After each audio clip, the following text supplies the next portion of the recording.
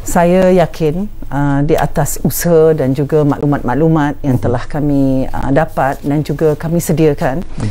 uh, dan uh, kesiapsiagaan di peringkat semua peringkat daripada daerah sampai ke negeri sampai ke pusat bahawa kita bersedia um, skala uh, bencana ini nanti we have to wait and see hmm. uh, sebab uh, kadang-kadang mungkin kita meramalkannya yeah. tetapi uh, krisis tu kadang-kadang menjadi lebih besar hmm. tetapi kita akan mempunyai margin ataupun kita akan bersedia uh, sekiranya perkara itu berlaku hmm. dan uh, saya mengucapkan banyak terima kasih uh, kepada semua agensi-agensi yang terlibat selama ini yeah. uh, yang tidak kira masa dan juga kadang-kadang nyawa uh, berhadapan sebagai frontliners uh, mereka lah um, yang sangat banyak membantu uh, rakyat Malaysia. Hmm. Uh, terima kasih banyak-banyak.